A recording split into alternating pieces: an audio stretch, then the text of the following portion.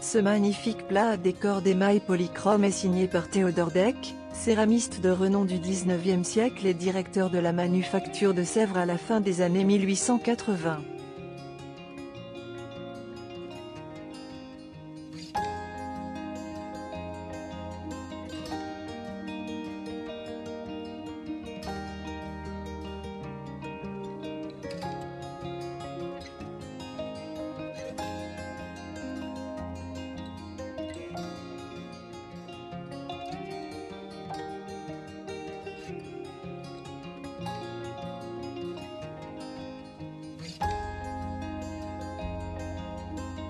Réalisée vers 1878, notre pièce s'inscrit dans la période glorieuse de Deck, régulièrement récompensée dans les expositions universelles pour ses céramiques émaillées de prestige inspirées des arts de l'Extrême-Orient.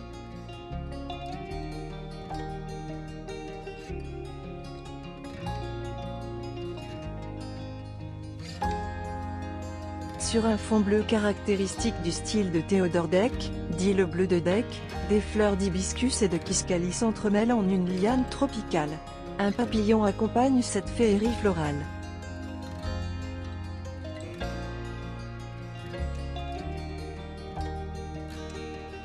L'hibiscus est une famille de végétaux issus des régions tropicales.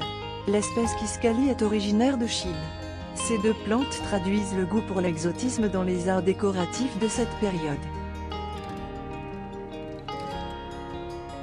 Les couleurs des pétales, rouge et blanc, sont fraîches et puissantes. En habile coloriste, Deck joue à merveille des associations entre teintes primaires et secondaires.